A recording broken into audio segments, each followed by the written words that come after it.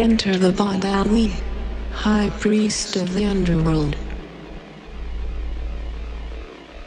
Behold the avenging myth, the blueprint of the divine paradox, the crystal crux of the soldier of Midian. Behold, the heretic of Ether, lord of the reverse scriptures, exiled alchemical warlord, leader of the Eureka Prize.